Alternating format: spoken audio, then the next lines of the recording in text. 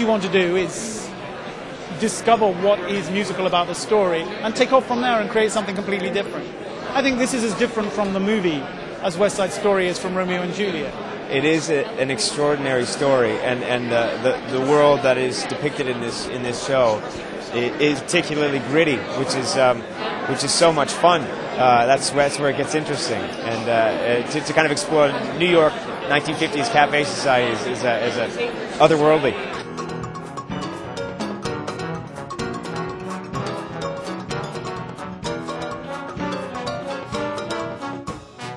Just such a joy to have this level of language on uh, you know on stage. It was a challenge. Uh, both Guare and I had to rise to the occasion of following uh, uh the, the, the, the, the lead of, of those great writers, uh, Ernest Lehman and Clifford Odets, who wrote the screenplay. Dean Martin confessing at the Stork Club that he sees a psychiatrist once a week to help him stop drinking. It's working. Every Tuesday from 3 to 4, he stops drinking. This was our casting session. Who should play JJ? God, I can't think who could play. God, he's going to act, he's going to sing. I can't think of anybody who can do it. What about Lithgow? Oh, that's a good idea. Does anybody know him? Yeah, I know him. Let's call him up. Hi, John, want to do a musical? Yeah, I would like to do one. Send it out. Okay. Two days later, he called back. He said, I'll do it. That was our entire casting hunt, and search for, uh, for our Scarlett O'Hara.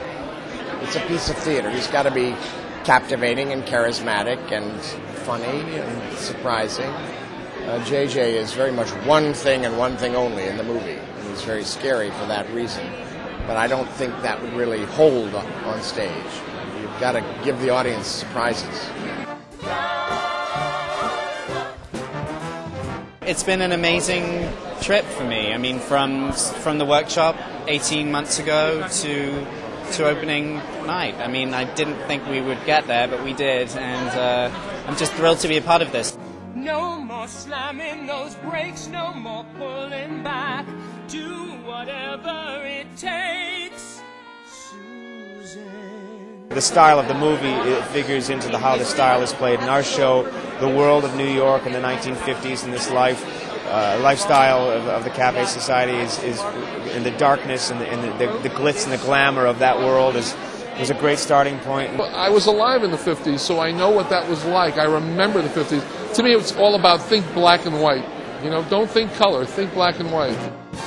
We've been doing this for you know two years, working on the show for two years. So to finally open on Broadway, it's just it's so thrilling.